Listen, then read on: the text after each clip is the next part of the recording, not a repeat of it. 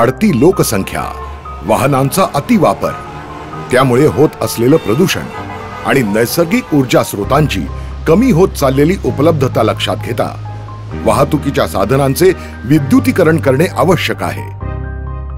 नीती आयोगाच्या अंदाजानुसार विद्युत वाहनांमुळे सदतीस टक्के कार्बनचे उत्सर्जन कमी होऊ शकते ज्यामुळे इंधनाच्या आयातीवर होणाऱ्या खर्चात बचत होईल.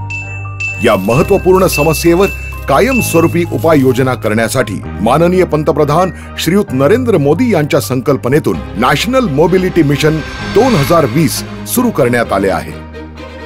या धोरणाच्या अनुषंगाने महाराष्ट्र शासनाने माननीय मुख्यमंत्री श्रीयुत देवेंद्र फडणवीस यांच्या नेते ऊर्जा मंत्री नामदार श्रीयुत चंद्रशेखर बावनकुळे तसेच ऊर्जा राज्यमंत्री नामदार श्रीयुत मदन येरावर यांच्या मार्गदर्शनाखाली व महावितरणचे अध्यक्ष व व्यवस्थापकीय संचालक श्रीयुत संजीव कुमार यांनी या धोरणाची अंमलबजावणी करण्यासाठी संपूर्ण राज्यात महावितरणद्वारे स्वखर्चाने पाचशे ई व्हेइकल चार्जिंग स्टेशन्स उभारण्याचा महत्वाकांक्षी उपक्रम हाती घेतला आहे.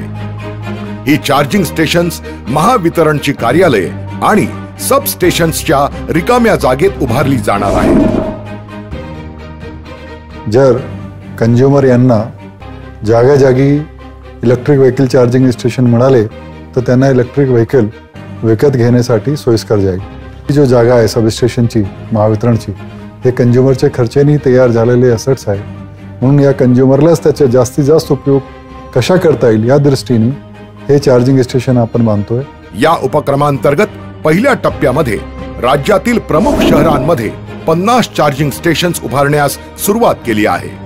मुंबई पुणे द्रुतगती महामार्गावर सात चार्जिंग स्टेशन्स उभारण्यात येणार आहे.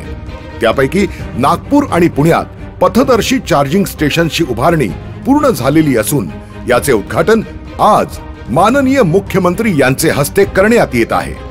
दुसऱ्या टप्प्यामध्ये उर्वरित चारशे पन्नास स्टेशन्स उभारण्याचे प्रस्तावित आहे. त्यामध्ये विविध शहरांसोबत मुंबई नागपूर समृद्धी महामार्गाचा समावेश आहे. वाहनांचे पूर्ण चार्जिंग करण्यासाठी सुमारे पंचेचाळीस मिनिटे ते एक तास लागणार आहे. विद्युत वाहन चार्जिंगचा दर दिवसा प्रति युनिट सहा रुपये तर रात्री दहा ते सकाळी सहा या कालावधीत चार रुपये पन्नास पैसे असा माफक असणार आहे. वाहन धारकाच्या सुविधेसाठी अद्ययावत मोबाईल ऍप विकसित करण्यात येत असून त्याद्वारे नजीकच्या चार्जिंग स्टेशनचे अंतर उपलब्धता ऑनलाईन पेमेंट इत्यादीची सुविधा उपलब्ध करून देण्यात येणार आहे. सगळ्यात पहिले तर मी महावितरणचं अभिनंदन करतो ज्यांनी हा इनिशिएटिव्ह घेतला. मी ही गाडी घेतली एक वर्षापूर्वी. आमची गाडी जी चार्ज होत होती ती सहा तासात होत होती. आता पण यांच्या चार्जिंग स्टेशन्समुळे आमची गाडी एक तासामध्ये चार्ज होणार. ई व्हेइकलचा वापर म्हणजे महाराष्ट्राची प्रदूषण मुक्तीकडे वेगाने वाटचाल. पहली योजना है मुख्यमंत्री सौ वाहिनी योजना. इस इस स्टेट में नियर अबाउट 41 लाख किसान हैं। 41 लाख किसानों का कहना है कि हमें दिन में बिजली दो। हमने दिन में बिजली देने का प्रयास चालू कर दिया गया है। इस साढ़े तीन हज़ार मेगावाट को आज हम भूमि पूजन करने जा रहे हैं। साढ़े सात लाख किसानों को दिन में बिजली मिलेगी और बिजली ये तीन रुपए रेट में बनेगी गाँव में। ये बड़ा काम सौर योजना का है। दूसरा हमने जो पाँच लाख अठारह हज़ार किसानों को कनेक्शन दिया है और आज दो लाख अठारह हज़ार नए किसानों को कनेक्शन देने वाले, नए कनेक्शन जिनमें डिमांड की है लोगों ने। और उसमें हम छः हज़ार रुपये किसानों से मिलते हैं, ढाई लाख रुपये सरकार खर्चा करने वाली है। नियर अबाउट महावितरण के हमारे सीएमडी संजीव कुमार ने जो योजना बनाई। उसमें दो लाख अठारह हज़ार किसानों को अगले दिसंबर तक पूरे कनेक्शन मिलेंगे। इस प्रकार से योजना बनाई गई है।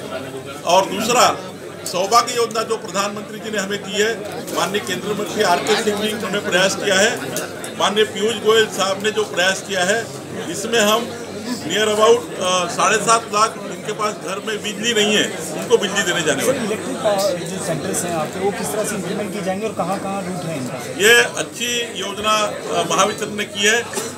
हमने ओपन किया है महावितरण तो 50 करेगी 100 करेगी।